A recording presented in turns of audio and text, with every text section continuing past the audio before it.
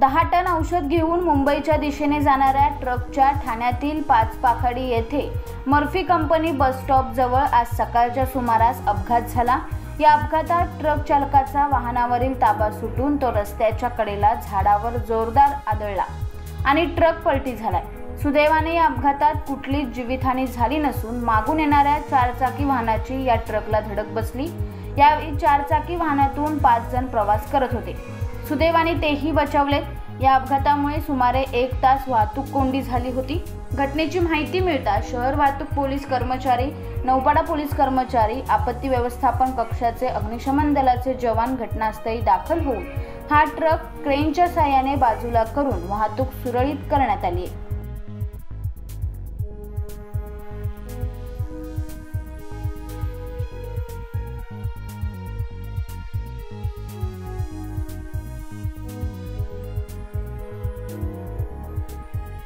Abhilash Dawre P V news Thane.